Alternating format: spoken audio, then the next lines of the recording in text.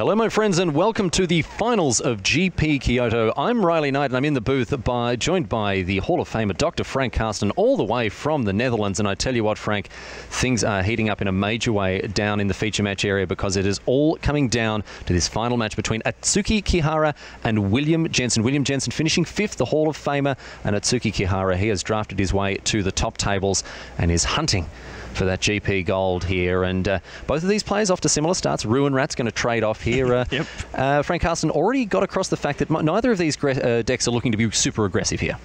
Indeed. Uh, well, a 1-1 death touch for 2 mana is already uh, an indication that uh, none of these decks are going to be attacking for a ton of damage early on. Obelisk Spider, same deal. And yeah, William Jensen's deck is uh, more of a green-black mid-range style deck, mm -hmm. focusing around cards like uh, Oasis Ritualist uh, to ramp into uh, Rampaging Hippo, uh, rather than uh, hyper-aggressive two-drops. in the meantime, Atsuki Kihara's deck, it's, it's a blue-black deck. Blue-black never really known for its fast attacks. Bunch of cheap creatures that affect the board like Ruin Rat, but nothing that attacks for a bunch. Kihara is mainly relying on uh, the power of his rares Rags to Riches, Hour of Eternity, Torment of Hailfire. His late game is quite stellar. We see Torment of Hailfire there in the hands of Kihara, and Jensen will will have to go toe to toe with these cards because he is also looking to get to the late game. Very, very powerful synergies in William Jensen's decks. Archfiend of Ifnir uh, has, uh, has really done some work for him in previous games in the semi-finals where he absolutely took apart Jon Finkel, the greatest of all time, of course. He took him, ripped him apart from limb from limb, really, off the back of uh, these synergistic minus one, minus one counter plays. But uh, look, Jensen's on the hunt here. He is, oh, he can smell it. He is uh, chasing a back-to-back title because, of course, he won with a Peach Garden Oath recently uh, in the most recent GP, the team event. Yep. Oh, and speaking of smelling, uh, Jensen must have smelled uh, Aven Reedstalker. That must have been the reason why he didn't attack with the Obelisk mm. Spider, mm. keeping it back as a blocker more likely. But uh, Kihara actually had nothing. So far, this is uh, a completely different game than some of the other ones we've seen so far. Uh, both players still at 19 or 20.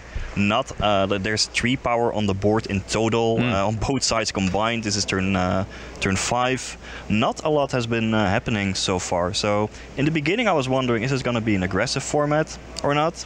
Looking at the decks in this finals, blocking is certainly possible in this format. Yes, indeed, as we see a uh, Oasis, Oasis Ritualist joined now by a Nimble Obstructionist here. And we're going to see an attack. This is a very suspicious, highly suspicious, highly suspicious attack here from Kihara, considering yes, that the Spiderino has has uh, reach here, and uh, Kihara's come prepared for it. Ah, that works. So Obelisk Spider would uh, dish out additional minus one, minus one counters if it deals damage, but its power is just uh, shrunk, so yeah. that's not even gonna do anything. Splendid Agony, a nice way to keep the lid on things here and keep that nimble obstructionist around. We don't often see it cycled in limited, but a 3-1 flash beater in the air, I mean, yeah, pretty good stats for the for the cost you're uh, mm -hmm. you're mm-hmm. paying for it. Spellweaver Eternal coming down. We mentioned the fact that Takihara does have a little bit of uh, uh, aggressive uh, potential with cards like this.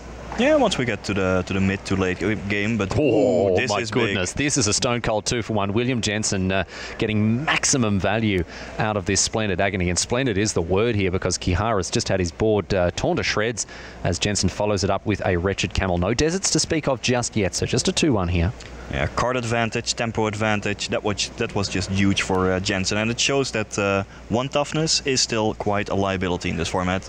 And here comes the big snaky here. It's time for uh, Jensen to wake up and uh, smell the roses because this 5-5 is going to do some business. Kihara only needs one more card in his graveyard for it to start attacking. You can see that that Ruin Rat has been exiled, exiled to the previous Ruin Rat cast by William Jensen.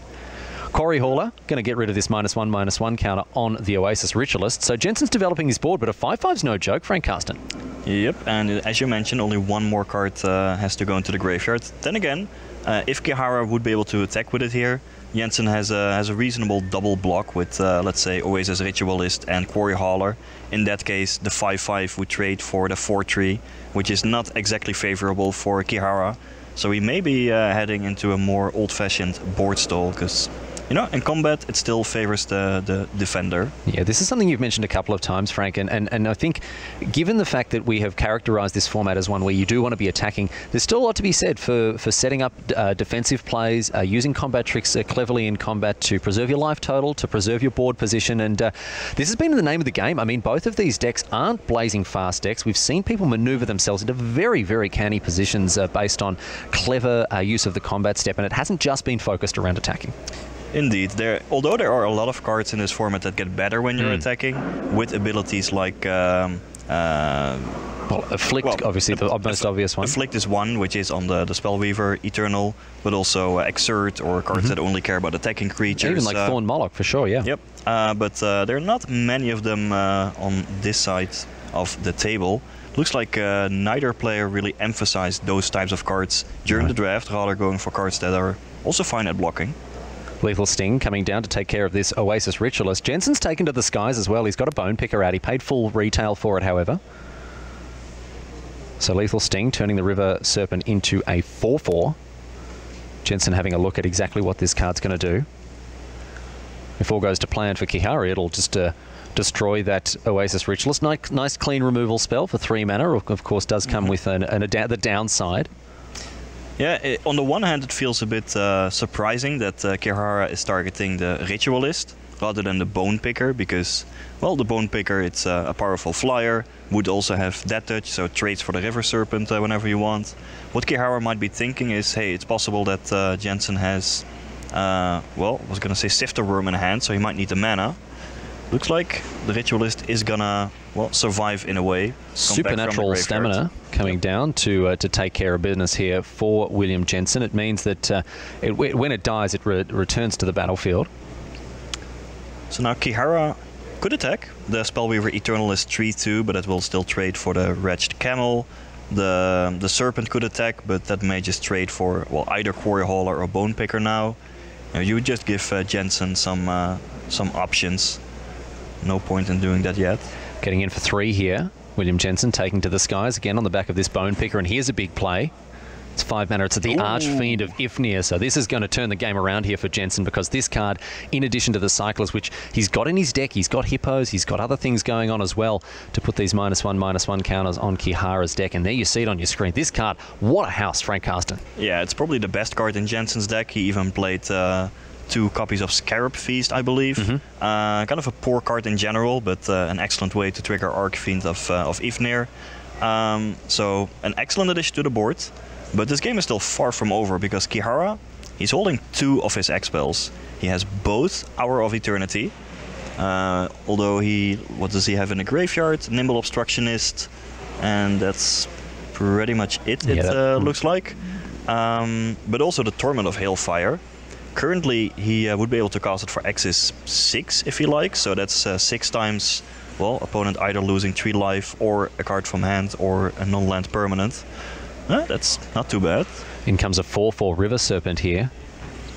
Yeah, with the Hour of Eternity uh, in hand, it definitely makes sense to, uh, well, try to get some creatures into the graveyard so you can turn them into Eternals.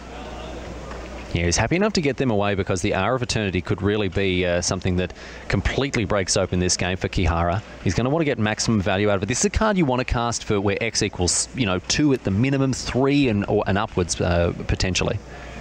Well, he's not going for it yet. It's not like Kihara has all the time in the world. Right, Jensen uh, has already, well, it's uh, 8 power in the air with the Archfiend of Ifnir and the Bone Picker. Uh, so that would already be a two turn clock. So Jensen now, considering his options, Kihara sitting cool as ice. There is the Hour of Eternity. It'll be interesting to see if this one is brought to bear. An immensely powerful card, but I know it's raised some eyebrows, Frank Karsten. Not everyone's sold on it. Uh, it's, it's a little slow. Um, if, uh, if you don't have great creatures to get back with relevant abilities, it's it's it's just medium when you mm. cast it for five mana. For seven mana, yeah, you're starting to get there, but still not super exciting. And and the triple blue cost also a bit difficult, but uh, it makes copies. So if you get back a creature with flying, that's yeah. suddenly uh, an air elemental rather than a Durkwood Boars. That can be that can be quite important. Kihara now facing a bit of an onslaught from Jensen. He looks like he's going to try to tie up some blocks here, but uh, he's taking a bit of a bit of a shellacking from uh, uh, William Jensen here. Three creatures getting across unblocked, and uh, that's a pretty mighty hit, Frank. It is down to six life Oh, already. dear. Kihara Oh, dear. does have the option of going land Hour of Eternity for Axis 3 on the next turn. And there's the Nimble Obstructionist, which would retain flying, giving him uh, a reasonable blocker in the process. And here is the hour of eternity indeed. Just as you, uh, just as you said, Frank, and we're tapping out here. So this is a huge hour of eternity. Of course, the uh, still needing to find a way to uh, to deal with this board that uh, Jensen has uh, has cobbled together here. But I tell you what, he started off in a just an absolutely brilliant way here. Uh, he is using his life total definitely as uh, as a resource. He could have cast the, the hour last turn for Axis 2. Uh, chose not to. Took a lot of damage in the process, and we'll we'll have to see whether or not that will come back to uh, to bite him because. Yeah, six life points. It's not a lot to uh, to work with, and he only has one flyer to deal with the Archfiend and the Bone Picker. Now, you made an important point here, uh, Frank. So, all of these creatures are technically in the exile zone. We're using them as uh, to represent the tokens that have been created here. And an important point you made, of course, is that they still have the original abilities of the cards themselves. That means that the Spellweaver Eternal does have Afflict. It means that the Nimble Obstructionist also has Flying, and it means that the River Serpent has a Stone Cold Nothing. But it is it's actually been downgraded to a 4-4 here as it's as it's come back from the grave, rolled away its stone, and uh, got up to the battlefield once again. Looks like Jensen is uh, interested in shrinking them even further. This is the one of two copies of Scarab Feast. Yep, uh, a weak card all in all, but uh, when it suddenly puts minus one, minus one counters on the other side of the board and draw a card in the process, well, it becomes pretty good. So this is also important because now Kihara is not able to uh, trade his 4-4 Nimble Obstructionist for Archfiend of Ifnir. Although I have to wonder why William Jensen chose to cycle it in the main phase. Maybe he was trying to uh, draw into another relevant sorcery speed card. We saw the top of William Jensen's deck treat him very kindly in the semi-finals when he ripped uh, consecutive cycling cards to absolutely tear Jon Finkel's board to pieces. And in a similar way here, he's really putting the screws on Kihara with another all-out attack. Kihara has his work cut out for him. He has to make these blocks here. He has to survive this combat step because uh, Jensen just continues to push further and further forward. Uh, well, the the flyer it could uh, well it could block the bone picker and uh, and trade. Does go for a chump for the archfiend. The grizzly survivor because of the cycling is uh, four power as well, so that'll trade. And the oasis ritualist turned into a uh, a four six thanks to the resilient uh, Khenra. No, wait, uh, never mind. That was still a two four bouncing against the tree tree, Mhm. and Jensen chose to uh, pump his uh, his other flyer, the bone picker, and that actually uh, makes a lot of sense because then Kihara could not use his flyer to trade for any of the the flyers. So, good- good Kihara down to Jensen. one. Jensen on 20. Yeah, and this is the point where the Torment of Hailfire is not as impressive. Because Kihara, he could play land and then Torment of Hailfire for, let's see, it was about uh, eight or so. But yeah, Yui could just Yeah. uh, lose life, Mm. maybe maybe six uh, times or so even, sacrifice a creature, discard a card, and then swing back on the next turn. So William Jensen tidily picking up game number one. He'll be very happy with that. Off to a strong start. Atsuki Kihara, however, he doesn't want to be the final boss of Japanese GPs. He's going to want to get over the top here and take the Hall of Famer to account. And uh, William Jensen, I mean, he got he got a he got a good look at uh, at uh, Atsuki Kihara's deck. He, he is going to know what he's facing moving forward, and that may influence his sideboard plans already. Frank Carson, I can see him uh, fiddly uh, fiddling around with some of the cards in his deck. So he's looking to make some changes into the sideboard. This is something that I think is an overlooked part of, li- of limited gameplay. Uh, that is true. Uh, it's it's more a factor in seal deck, I believe, when Okay. you just have a larger card pool than in uh, than in draft. But uh, sideboarding is always uh, accessible uh, to you, and there are always small changes that you can uh, can make. For example, in the semifinals, uh, William Jensen boarded a nest of scarabs Yeah. against uh, Jon Finkel. And proved to be devastating. Uh, yeah, and that, that's a, an enchantment. Yeah, you might be putting it in here as well. It certainly looked uh, like it. It's an enchantment that's not going to be great when you're playing against, let's say, a hyper-aggressive Hmm. red-white deck. You likely just won't have the time to uh, find other minus one, minus one counters and get some uh, value out of it. But uh, against a deck like Kihara's, which doesn't uh, appear to be blazingly fast, uh, you might have enough time to assemble Nest of Scarabs with some other minus one, minus one counter effects, and then you can really put uh, it to good use in the long game. I mean, we saw stuff like Splendid Agony, we saw stuff like uh, Torment of Venom coming out of uh, Jensen's deck as well. So the, the Archfiend of Ifnir, that that's the dream. Absolutely. I mean, and he lived he lived that dream as well. He turned it into a waking nightmare for Finkel in uh, in in the semi-finals. But uh, right now, he does have another game to win against Tsuki Kihara, who is also looking to make some adjustments for his deck. I have to say, this guy's really impressed me with his drafting. Kihara, I think uh, we, have already touched upon the blue-black deck that he drafted in uh, in the final rounds of the Swiss. But uh, I mean, do yourself a favour around the world, wherever you are, jump back to the Twitch replays and have a look at it, Frank, because we were beside ourselves. Couldn't believe it. Yeah, we were just wondering what's he going towards. Mm-hmm. He's just cycling every card that he sees. Every single card. he wasn't um, casting anything, just cycling them all. Yeah, and then at some point he had three lands in hand. So so now what? And then there was the abandoned sarcophagus. It was beautiful. It was just insane. So really get amongst that. You, are going to want to get across it. Uh, and uh, Frank, it's kind of opened. I mean, this isn't the only example. It's just one example of, of the way that this weekend has really opened up my perspective, at least, and I'm sure for many people around the world as well. Just the depth, the intricacies involved in drafting this format. Uh, it's it's been an absolute masterclass from the best players in the world as to how to approach this limited format and uh, a bit of a crucible for those heading into the Pro Tour next weekend. You're amongst these people, Frank. What are some of the lessons that, uh, that you've taken away from this event that uh, you'll be brought to bear next week? Well, one lesson is uh, if you draft green, then uh, draft uh, a slower deck. Don't go for the aggressive green uh, strategies. If you look at the deck that William Jensen is playing now, but also the deck that uh, Jon Finkel drafted, it was way more of a, let's say, an Oasis Ritualist mm-hmm. into a Rampaging Hippo type deck. Rather than so, the sort of uh, Rhonas a Stalwart into, into Overcome. Hooded, hooded or, Brawler or whatever, yeah, yeah, for sure. Okay. Exactly. And that was. Um, further solidified by uh, a pick that Martin Muller, who, uh, who actually also oh, made it to the, yeah. top four here yeah. uh, here made earlier. This was bonkers. Today. Couldn't believe this. Yeah, it was uh, first pick uh, the Aven of Enduring Hope, three three flyer above above Overcome. Overcome, ridiculous stuff. But Martin Muller, I mean, he was on a tear. We got to check in with him as mm-hmm. well because at 13 and zero, he's had a great weekend. Locked himself up for platinum. He's going to yep. make a run at the World Championship as well. Really one of the uh, the strongest performing players in the Swiss. And I mean, yeah, I, couldn't believe it. I couldn't believe it. I was I was running around with my pants down. I couldn't I couldn't understand why he would take a, a five mana three three flyer, but he was rewarded for it. He went mm. undefeated with that deck, and and he knew what color pair he wanted to be, and he had a very clear idea of the way that he wanted the format to shake out, and it's fascinating for me. It's fascinating for me on the sidelines to watch the way that these these professional magicians, after weeks of hermetically sealed testing, come in and bring these strategies to bear on the wider world. So much for us to learn, Frank. Absolutely. He just didn't feel comfortable with the green aggressive decks, and this is also something that I enjoy about this current format. You not only have these uh, 10 different color combinations, hmm. but even within a color combination, uh, you can draft decks in widely different ways. Yeah, that's very true. Um, like as we saw with green aggro decks versus more green ramp, big uh, big hippo uh, mm-hmm. decks. Mm-hmm. Kihara going from a blue-black cycling deck towards just a blue-black, you know, creature, flyer, good card uh, deck. Uh, we've seen, uh, well, red white mainly still aggressive, but mm. uh, sometimes you uh, get all of the, the controlling cards and make something uh, different out of it.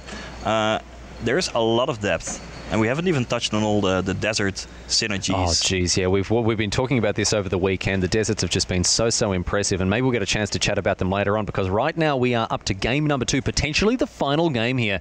If Jensen can take it across the line, of course, Kihara will be doing everything he can to prevent that from happening. But here we are, a Desert of the Glorified coming down on turn number one for Kihara, and he's off to the races now with a Ruin Rat. Once again. And Jensen, does he have the rat of his own? He does not. Passes the turn back to Kihara, who's in for one. Kihara has all the rats this game. Hmm. There's another one in his hand. Rat tribal here now. But it's going to be a Grizzly Survivor. So uh, Kihara curving out nicely. What's Jensen's answer to this? He's got to have something, but he doesn't. Passing the turn on uh, on turn two here, on turn three, I should say, after playing his third land.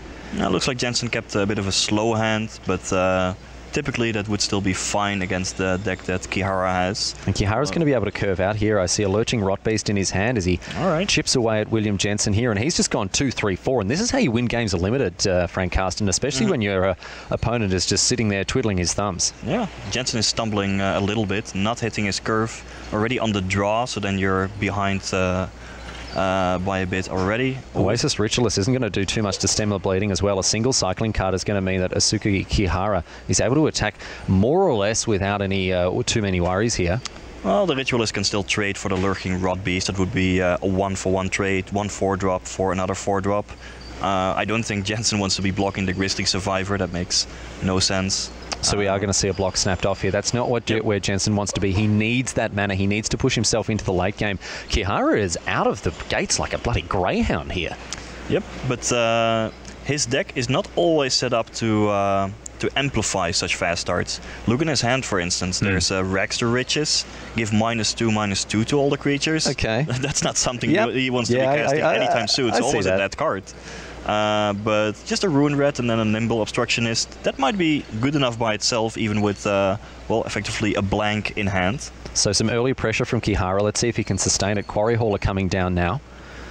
So Jensen adding to the board. And a Nimble Obstructionist means that Kihara can keep the pressure up. Yep. These Ruin Rats more or less indestructible, or sorry, unblockable at this stage. They can get in knowing that they're only going to make a favourable trade here. Looks like Ihara is considering to uh, attack with the Grizzly Survivors as well.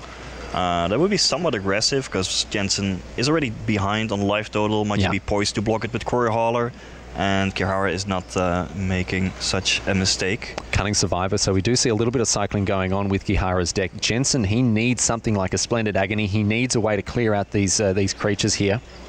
Ideally, of course, excuse me, ideally it would be an Archfiend of Ifnir into a cycling card. That'd clean things up nicely yes, here. That, that would be completely insane. Yeah. But it's just a bone picker, which is okay. It'll trade for the Nimble Obstructionist. Bit of a picorino here for Jensen as he continues to try to stabilise, but Kihara's really getting amongst it and uh, kicking goals with both feet here. Tragic lesson. A little surprised that he didn't tap uh, the desert instead of the, the swamp, so he can return that one and then potentially cycle it after. But he's actually just uh, discarding to indeed Yeah. trigger both of his creatures. Yeah, and he's uh, done uh, he's done well to do it here as Jensen lines up his blocks. Happy to dis- discard a card given that it puts three extra power on the battlefield. Mhm. That'll do. He's taking four here down to four. Is Jensen? Uh, Jensen still may have a trick up his uh, sleeve. No, No, he no. does not. Away they go here. So Jensen needs this Archfiend. He needs a way to clear these uh, creatures out. A riddle form coming down for Kihara. That's resistant to the uh, to the Archfiend, although it, it does obviously get blocked by the five four. Yep. And a just a cycle. Cycling here for Jensen. He Uh. wants to do this after he's played his demon. What can he find here? Well, he has plenty of good cards in his deck. Sifter Wurm would be big. Ooh, Oh, off there- the there is top, the ripping hot, hot pepperoni off the top of his library here, William Jensen. And if he has the Feast of Scarabs afterwards, then he is in business. We'll see if this Archfiend of Ifnir is going to bring its considerable impact to bear on this game, or is it too late, Frank? Uh, it depends. If he doesn't have a cycler uh, to go with it, then uh, Kihara can still attack with the Ruin Rats. Jensen will not be interested in blocking them with his Archfiend, but then Jensen would fall down to two life, still facing all of these Ruin Rats. Um, he's ahead on board thanks to the Archfiend, but his life total is uh, getting really, really low. It is perilously low, yes, you have to say. And a splendid agony on the Archfiend to... Oh, th- uh, that will trigger the riddle form. yeah, this is looking very, very bad here for Jensen. Yep. So now Jensen basically has to block the riddle form to survive. And but thanks to the counters, it will uh, it will just trade for the Archfiend. Does he have a one mana Cyclone? Now is the last chance for him to deploy it here. He's giving us the slow roll. Unbelievable. this is just uh, in slow motion here. As Jensen, Oh, if he blocks like this, then he certainly has uh, has a cycler. he must have it. There it is. Okay, so this wow. uh, this game, we're back at it now as the riddle form gets a minus one, minus one counter. In addition uh, to the old uh, cunning survivor here. That is such a big, uh, Yeah. big play. It's it's the difference between probably winning and losing this uh, this game. Absolutely. That that was really spelling game over here for Jensen, but he's able to pull it together. He's going to take two in the air thanks to the riddle form, but uh, still managing to maneuver himself with this archfiend on the battlefield. And this is, I mean, this is his way out. Yeah, This is, his rope It's- ladder off the side of the helicopter here. Uh, it means that uh, the Archfiend is gonna live through the encounter with the cunning survivor, um, and well fall down to two life. But uh, now Jensen is uh, is firmly ahead. He'll Uh, have uh, a blocker for the riddle form in the Arc Archfiend. Has plenty of cards in hand, whereas Kihara seems to be uh, a bit out of gas. Has access to the Scry on riddle form, but Jensen ahead this game. Yeah, Jensen is uh, is really solidified his position here. Of course, you can see the riddle form still with the minus one, minus one counter on it, even though it's no longer a creature. That counter sticks around, and here is the nest of scarabs. This means that uh, now uh, Jensen's going to be able to flood the board with scarabs if he's able to continue to get Archfiend triggers off here. And Kihara now with his work cut out for him. Jensen with a full hand. Nice big fat ham sandwich in his hand, whereas Kihara is looking at a boarding house scrape of butter across a bit of Wonder White here. So remember that Kihara still has the Rags to Riches in hand, uh, which uh, would be able to. Is it uh, in? I, I feel like he discarded it earlier to the the uh, Oh, he did? tragic lesson. Well, in that case, he doesn't have uh, access to it to deal with uh, the Archfiend. No, not quite. I mean, one more land and he'll be able land to. and he can gain control of it potentially. But yeah. you'd think that Jensen would have added something else to the board by this stage. Riches is one of the least potent mind mind control effects. Uh, Frank, as, as, as we both know, of course, it uh, essentially gives your opponent the choice of which card they gain control of. So, of course, you're always getting the biggest Dudsky on the battlefield here. And indeed, Jensen is going to continue playing here. It looks like uh, uh, the Khenra is going to come down, boost up the Archfiend, which gets in. So, Jensen now on the attack. Yep, and of course Jensen knows that there is still this Torment of Hailfire in uh, Kihara's deck, so Mm. he doesn't want to give him all that much time to draw into it. He needs to start attacking and pressuring Kihara's life total to just reduce the number of draws that uh, Kihara has access to. See a scry from Kihara now. He draws the card off the top of his library and says go. And Jensen's going to get to untap once again. I mean, I thought, you know, he, he looked like he was down for the count earlier. Kihara curved out two, three, four. Get in there, le- left, right, good night. But uh, Jensen's still up and, uh, and, and chucking punches around like a pro here. Yep, still alive at two life. And just getting in there. Look at this. I love this aggressive posture.